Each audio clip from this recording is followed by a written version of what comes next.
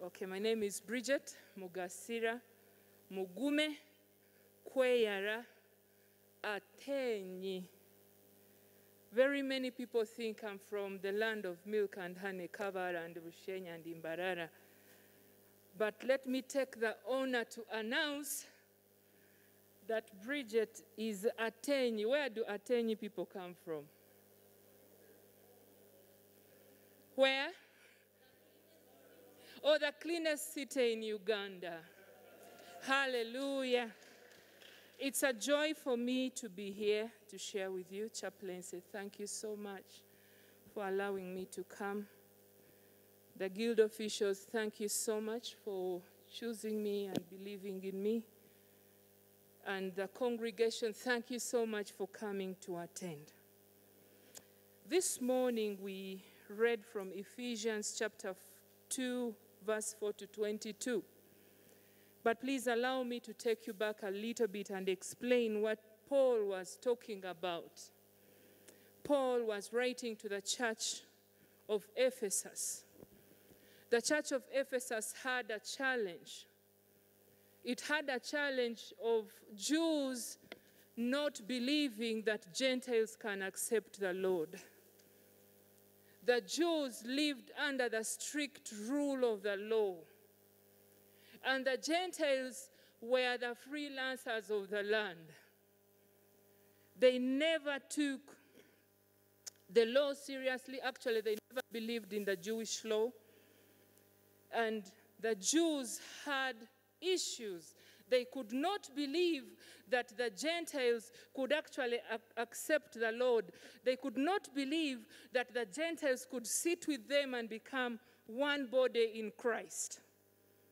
So, friends, I want us to, Paul was trying to explain to the church of Ephesus and telling them, hey, look here, we are all governed by one body. That is the body of Christ. But the Jews were saying, Mm-mm, we don't think that is possible. Because Jews were raised to believe that Gentiles cannot at any one point accept the Lord and come to the congregation like them. They were raised to believe that Gentiles were pagans because why? They were not circumcised. And for them to come to, to at least be in a little agreement with the Jews, they needed to be circumcised. The Jews believed that Gentiles were alienated from Israel. The Jews believed that Gentiles were strangers of God's promises. The Jews believed that Gentiles can never be born again because they had idol worship, they worshipped gods. So Paul is trying to explain to the church of Ephesus and telling them, hey, look here, these Gentiles you see, they are also children of God so long as they accept the Lord. Believing Jews had it rough because Gentiles would never accept the law of the, of the Jews. But something happened in, in that confusion that they got half castes. These are the Samaritans. The half castes were both Jew and Gentile. And in that confusion, the Samaritans accepted the Lord. So it is this group of Samaritans that went to the Gentiles and preached the gospel of Christ. While they preached the gospel of, the gospel of Christ, the, the Gentiles started accepting the Lord. Praise the Lord. And the challenge that the Jews had was uh, they, they could not understand how now they will embrace this other group that they despised so much. Yet the law was telling them if you are a Christian, you must treat both Jew and Gentile equally, so long as they are born again. That is the, the, the, the challenge that Apostle Paul was trying to, to, to address. So this morning, friends, I want us to think through Ephesians 2:14 with that background. Because so many of the things that were being spoken about in the church of Ephesus are the things that are happening today. So I want us to have that background. And please close your eyes and we pray together. Father in heaven, we want to honor you because you are a faithful God. We thank you, you are a God. We thank you because you are a God who never lets us down. You are a God who has loved us despite our terrible backgrounds. You are a God who has called us to you because you are the source of peace.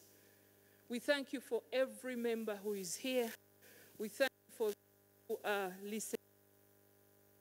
Thank our families. And Father, this morning I surrender myself to you. That, Lord, you'll use me. Father, interpret every word to your children, Lord. Speak to me, speak to us, that at the end of the day, we will embrace you as the chief cornerstone. Praise the Lord. Our theme today is In Christ Alone, our chief cornerstone. And this, this morning, the second reading was in Ephesians chapter 2, verse 14. You will allow me to go slow because there are several areas that I want us to think about and ponder about as, we, as I share with you. I'm going to read from verse 13, Ephesians chapter 2, 13. But now in Christ Jesus, you, you who were far off have been brought near by the blood of, of Jesus Christ, by the blood of Christ. He himself is our peace, who made who has made us both one and broken and has broken down in his flesh the dividing wall of hostility. Friends, allow me to first stop there and share about peace. Verse 14, verse from 13 to 14, we see Paul explaining and telling us that Christ is our source of peace. Hallelujah. He has not only been the source of peace, but He has made us one. He has broken down the wall of hostility. The Bible doesn't say that He has encouraged us to make peace. That is not what is in the Bible. The Bible doesn't say that Christ commands us to have peace with those we are struggling with. No. But the Bible says that Christ is our peace. I want to explain that further. He is the peace of all the struggles that we have. He is able to work peace because He is living inside us. Mothers and fathers, we relate to this example I'm going to give. When you have children, if you have four, three, if you have one, maybe you've not seen it. But if you have more than one children, there are situations when children are playing at home. And out of the game, they get disagreements and they start fighting. Mothers will quickly call, Hey, Bridget, please stop fighting. I want you to make peace with your brother. Can you shake hands? How many of you have seen that? We quickly tell children, shake hands. Reverend, please come. We quickly tell them to shake hands. One, you don't know why they were fighting. But because I was in the kitchen and I had a fight, so please shake hands. And this happens in so many Christian families. Shake hands and make peace. Now, Bridget will come to Lovinsa. I am not shaking hands because out of the peace that is coming from my heart, but I'm going to shake hands because mommy has said. And in most cases, you find yourself, shake hands. Sometimes they refuse, but when you insist, they go. The outward sign of making peace will be done. But the heart will keep on compromising, will keep on complaining and complaining and complaining. Because why? The peace, the shaking of hands has not come from the heart. Are we together, friends? So the Bible is telling us that He is our peace. Meaning that before I move to go to Lovinsa, I need to have the peace of Jesus Christ in my heart. That I will go to Lovinsa and make peace properly. Hallelujah. In that if Lovinsa chooses not to make peace with me, it shall be well because the peace of God is in me. I went to Lovinsa honestly. I went to Haz, my sister, and I said, My sister, forgive me. Friend, there is no class, no Zoom lesson, no lecturer, no mentor who will teach you how to have peace in your heart. But the Bible is very clearly telling us that Jesus Christ is our peace. There is even a very special blessing for the peacemakers. Praise the Lord. Matthew 5 9 said, says, Blessed are the peacemakers. That is a great blessing. The Bible tells us that Jesus Christ is the Prince of Peace. It also says in Philippians 4 6 that He gives peace that surpasses our understanding. Hallelujah. There are situations, friends, that you'll see people going through when everybody else is expecting them to break down. You'll see them smiling and walking normally. And because the world is expecting you to break down, they begin wondering, naye omuntu oyo yeesiga ki? Friends, this morning I want to bring this peace to, to introduce the peace of Christ. That no matter how turbulent the situation is, there is this peace that comes in our hearts if we have Christ Jesus. Hallelujah. Hallelujah. I was telling people in the morning, the service in the morning, that as a young girl, I struggled a lot. I had so many questions about my family, where I was born. I had so many issues of unforgiveness. And when I came to UCU, I could not function well like any other students. Because why? I had questions. You see, parents, when we raise children and move on and die, there are so many mistakes that these children will inherit from you. There are so many questions they will have because they'll find my, themselves in a confused family setup. So when I came to university, a friend looked at me and said, But Bridget, I think you have a problem. I could not know, I didn't know that I have the problem. And she found a counselor. When I was talking to this counselor, I clearly realized that I had too much bitterness for my father. I, I did not understand why he would do, make certain choices, choices of polygamy. I could not understand why we are growing in such an environment of rejection. That when food is being served, yes, they will serve everybody, but just know there is special food for these other children. I did not understand that. I bless the counselor so much. She took me through forgiveness.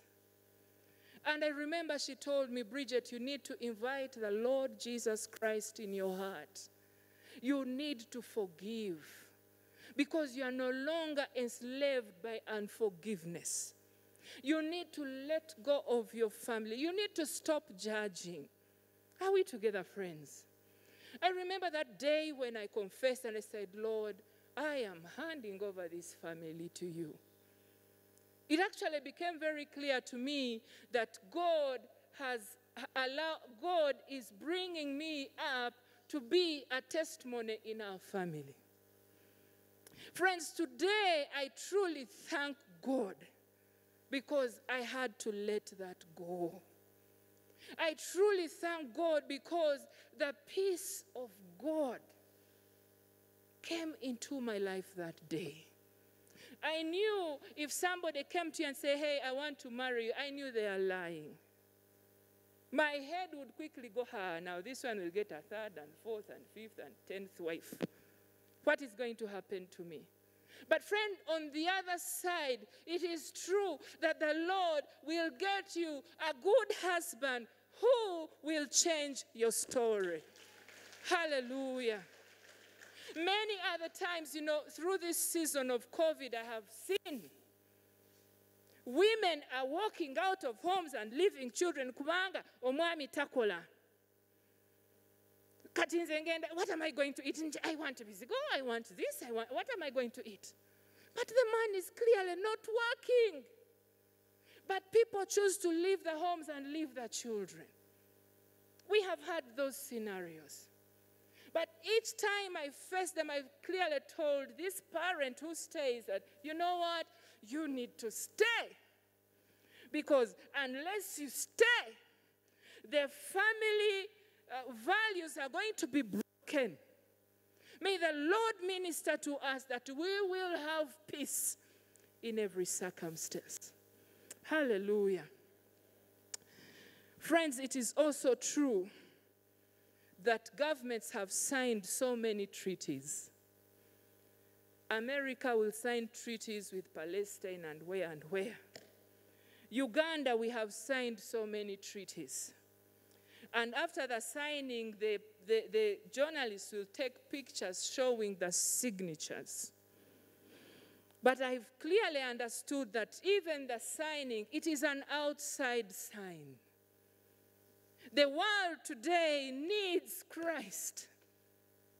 Because the Bible clearly says that He will embrace all of us Jew, Gentile, Muslim, uh, Catholic, all of us, we can be one if we choose to embrace Jesus Christ. Palestinians are, are, are descendants of Ishmael. We know that.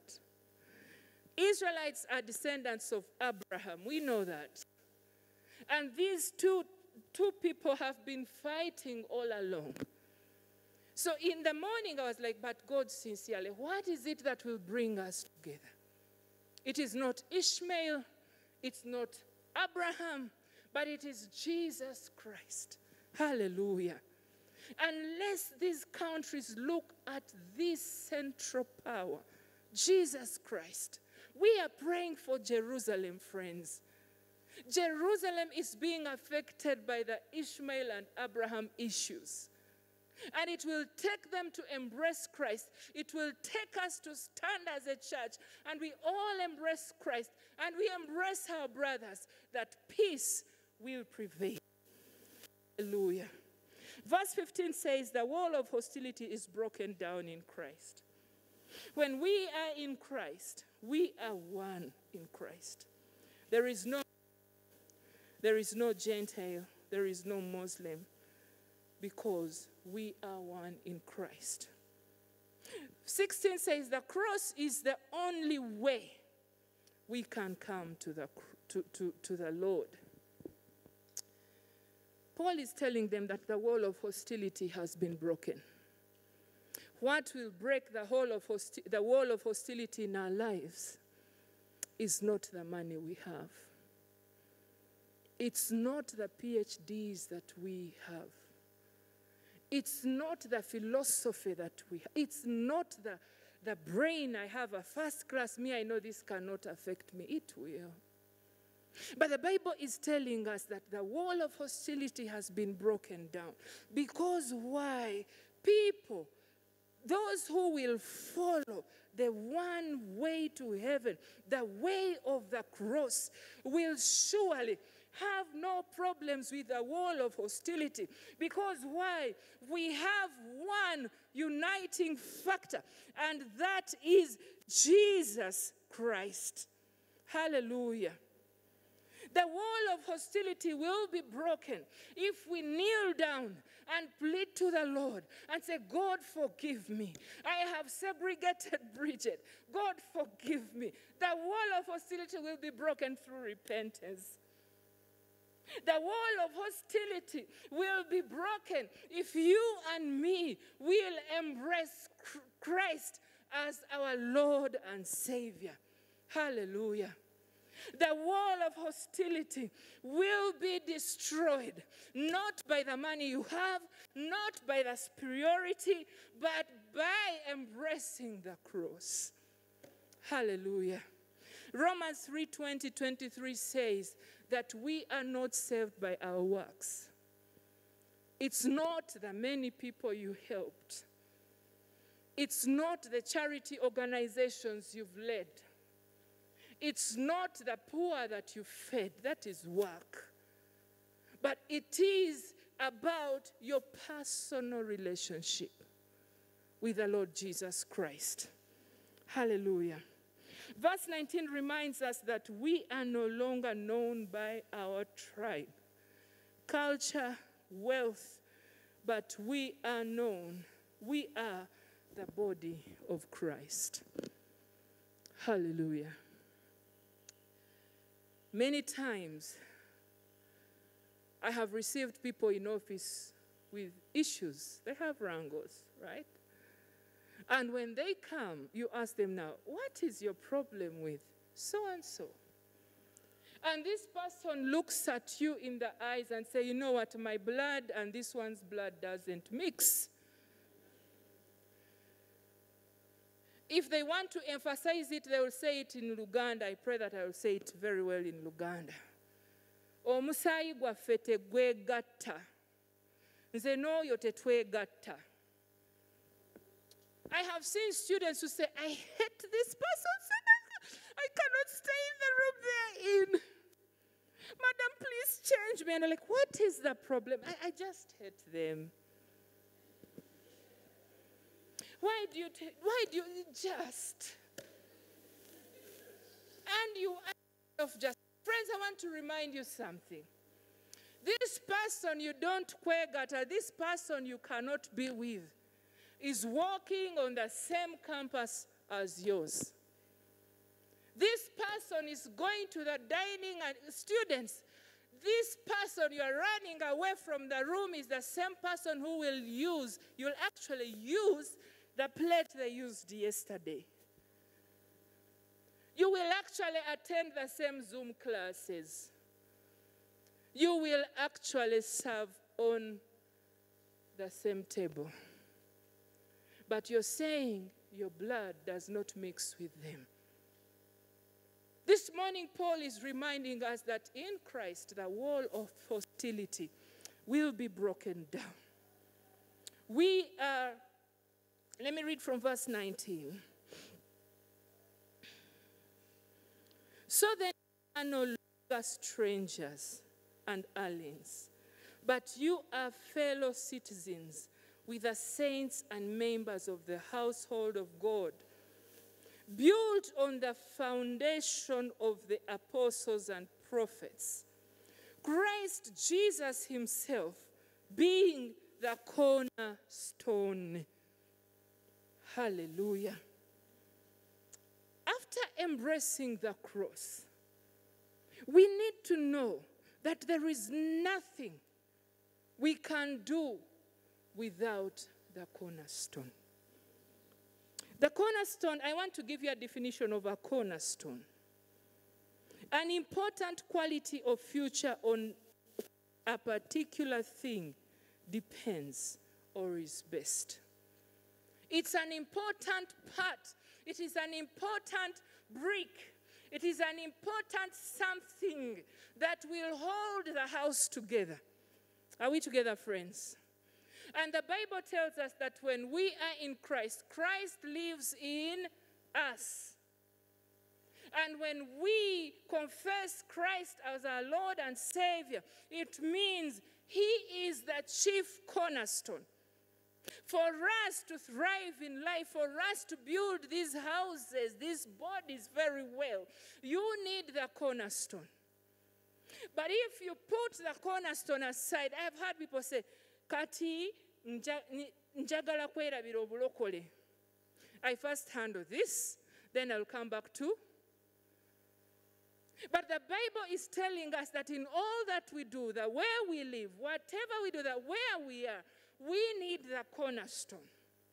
When you put the cornerstone aside, imagine you have your house and it doesn't have a clear foundation. When it rains, you will be among the people who will move out because the house is crumbling anytime. When there is wind, you will be blown by the wind because why? You have no chief cornerstone in your life. But, friends, this morning I want to encourage all of us to embrace the stone that was rejected, the stone that the builders rejected. The Gentiles rejected the stone. But as time went on, they embraced the stone. In Uganda today, there are so many things that are happening, and you're like, but God, where are you? Things are happening. Friends, it is not okay for you to surrender your child to be taken in a certain house, to be taught how to raise a dog. And they take your child, they close them in the house, and you're like, it is okay, it is the newest trend. You don't know what these children are being taught. It is not okay to allow certain literature to freely move in the children's libraries. It's not okay. Friends, it is not okay. You see, online learning has come. And this is exposing even the young ones to these gadgets. Friends, on these gadgets, our children are very, very clever. That they will know how to operate a laptop more than you who used it over 30 years. It is on these gadgets that they will truly go and log on pornography. It is on these DSTV channels that we pay for them, that we let them sit and watch up to midday. I don't have time, I'm very busy. Da, da, da, Yet, there are some cartoons that are coming in, and these cartoons are orienting them. It is not okay. Friends, it is not okay for us to say it is well for a cow to mount a cow. It is not okay. It is not okay for us to say, my body is trapped in a female frame, but I'm actually a man. It is not okay. It is not okay for us parents to say it is, it is their choice. You know, we are in a world of choice. Certain things we have to put our feet down and say, these are the family values, and we need to stand by them. Hallelujah. So this morning, I want to encourage all of us to think through what I'm going to say to you. As believers, we have free access to the Lord. You do not need a prophet over a who. The people, people are making very good money these days. If you want to reach near God, go to pastor, apostle who pay 50,000. Now I think some, some no longer pay 50. Pay 200,000, you'll see the man of God the man of God is going to offer you a special prayer. And when the man of God touches you, you are going to be healed. As if there is a wall between me and God. It's like I cannot reach God. For me to reach God, I have to go through the man of God. But the Bible is clearly telling us that the wall that separated us from our Father was broken down. Hallelujah. May the Lord help us to know that we have free access. We are no longer strangers, but citizens with the saints. Hallelujah. abalokole mukama atuyambe. As the believers may the lord help us that even when i sit in that office i will be reminded every day that i do not belong there. I do not belong in that office. But the lord has given us a chance friends. It is a ch- uh, it is permission from God. The Lord has allowed you to sit in that office for such a time as this. The Lord has allowed Bridget to sit there because God knew in UCU I'll find students who have issues with families. Hello. The Lord has put you in that office where you are as a steward. You are working on behalf of a higher power. Now, there's a problem there. There are some offices, I'm not saying you see you, all over, where they will ask you which tribe are you. You will not be helped unless your name has some Rutoro dialect. You will not be helped because I feel this student made a comment and this comment came up in a tabloid. And because it came up in a tabloid, I will not help this person. But God has called us in these offices. God has called you to that business because He wants you to help Jew, Gentile, black, white, rich, poor. We are all one in Jesus Christ. Hallelujah. I am looking forward to a time where we will stop asking certain things. I pray so much that we'll reach a point where you will intervene or you will stand with somebody and they ask you, Where is this person coming from? And you're like, I don't know. Me, I'm just helping a, a, a believer.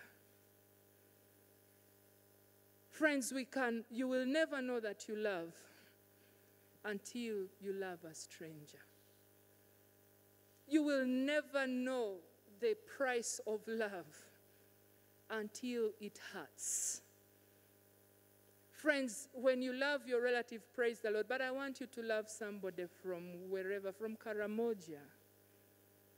You love them and love them and, until you feel, oh, this is too much, but I will love anyway because it is you who has said.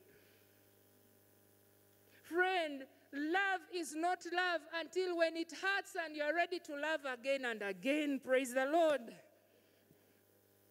As the body of Christ,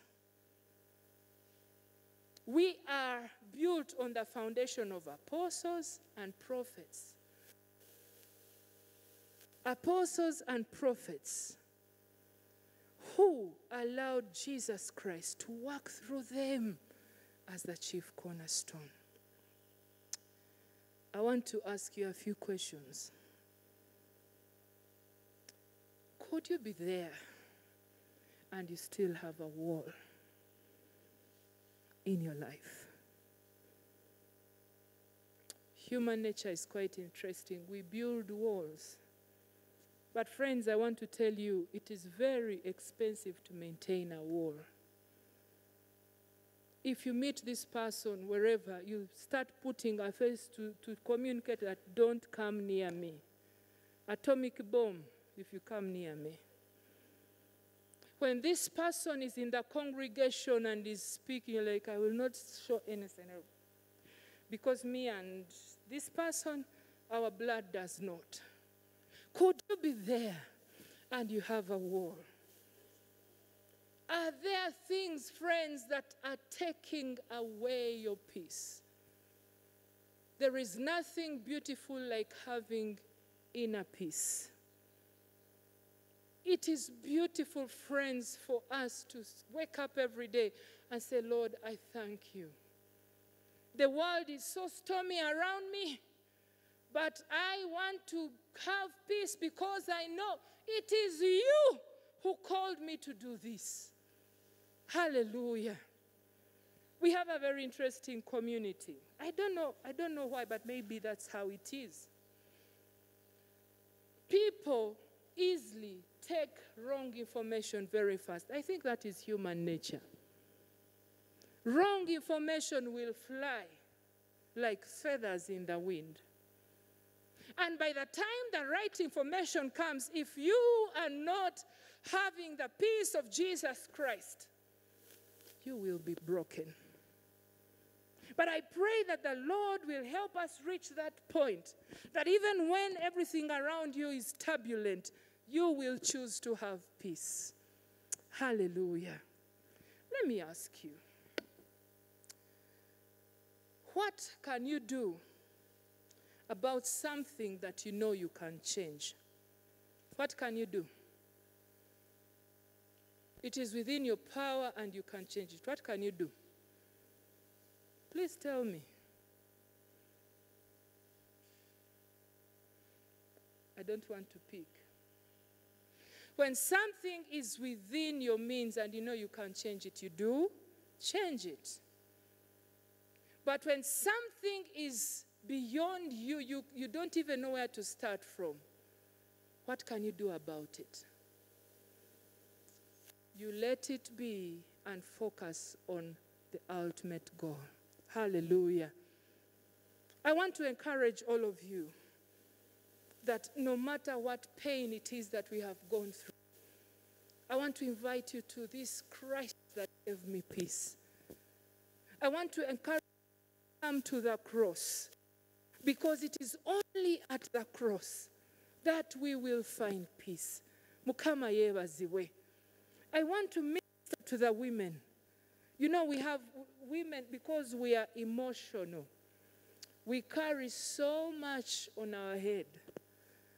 And, you know, even the walking will change, even the face will change, everything about you will change because you're carrying a load from the first year you got married. Now you are 20 years in marriage, but you are carrying it all here. And my question is for how long are we going to carry that? Husbands, for how long are you going to cut? Oh no, mwana nja kumusasula. I have seen students at UCU who come to school and the parents are saying, I don't know this child, this child is not mine because why? There is an implication of the parent paying tuition. So they are saying, for me to be safe, I want to deny that I'm the father of this child. And I have reminded those parents every day and told them, you know what? You will need them. Because the UCU, I know, the Lord is going to cause somebody to rise on behalf of your child. And I bless the Lord for this community. Praise the Lord. So I want to encourage all of us to know that there is nothing that is too hard for God. Friends, up to today, I keep on asking God, God, I wish I knew this woman who paid my fees. I was a struggling student. Twali bavu, we are poor. But somebody from the US, friends, I don't know this person and it still hurts. Because I really wanted this person to see where I am today. This person paid my fees.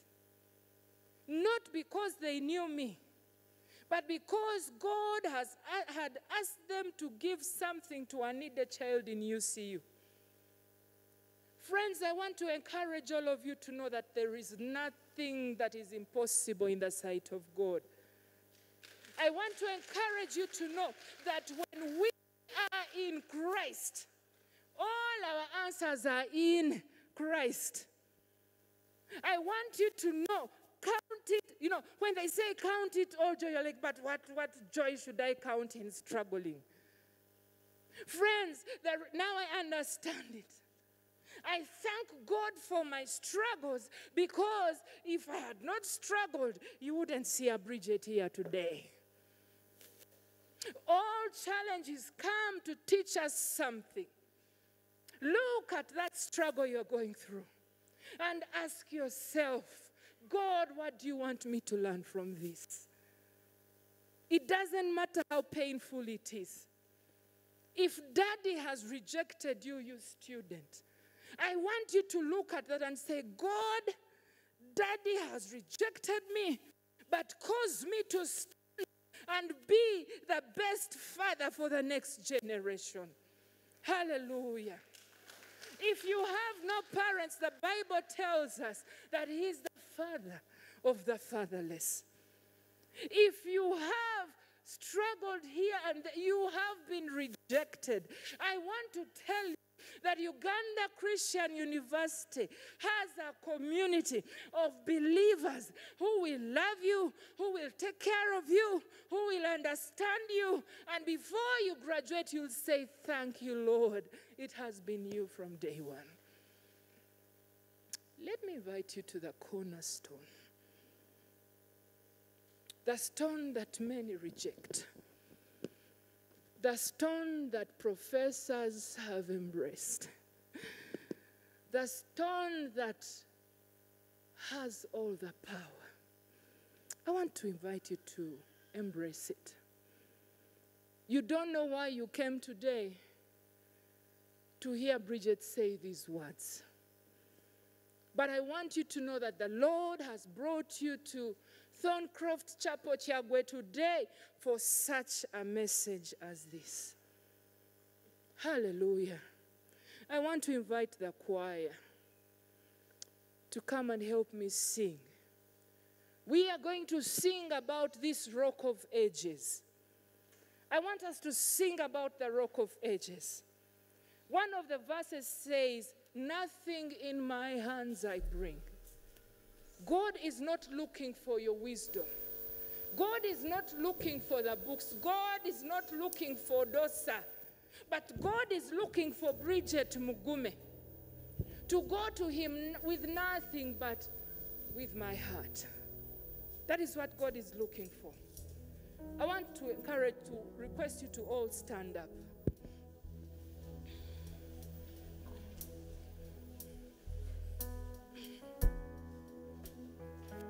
Just surrender to the rock of ages.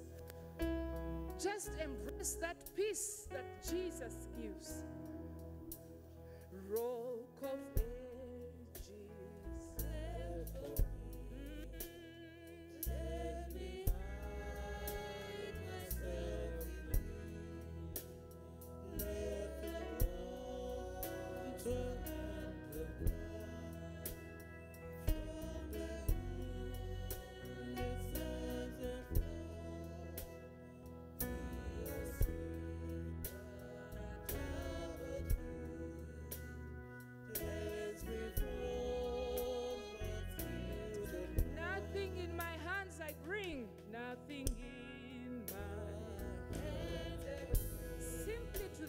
to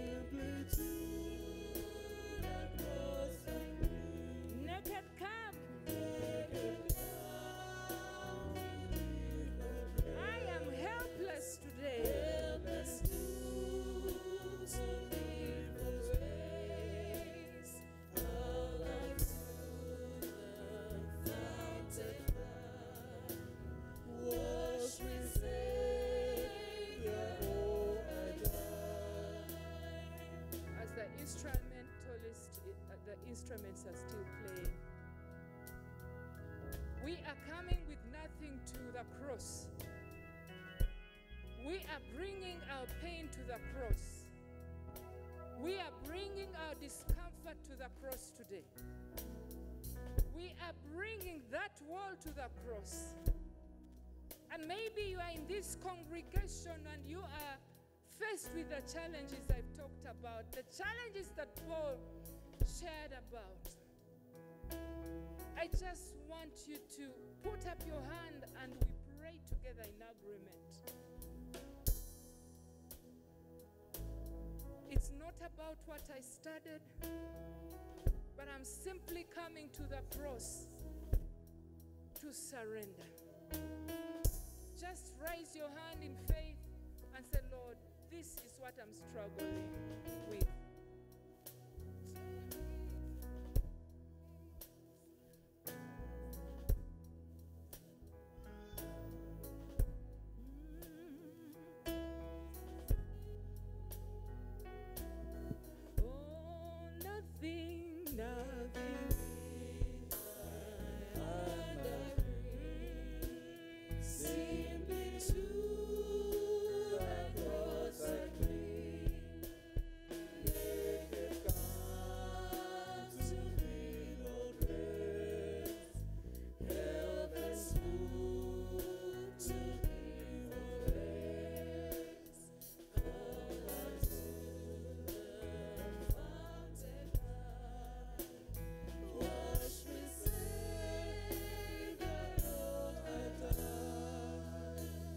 In heaven, we come to you this morning.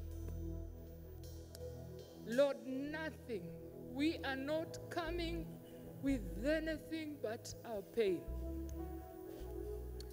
Lord, we are coming because we know you are the chief cornerstone. Lord, we are coming to you because we know that in you there is peace. Lord, we are coming to you this, this morning because we know you are the Prince of Peace. Father, minister to us. Minister to every individual in this congregation. Lord, minister to the very special gifts of students that you brought at Uganda Christian University. Lord, minister to the students. Lord, minister to the staff. Those whose pain, Lord, cannot be talked about. Lord, minister to the millions who have lost jobs because of the COVID.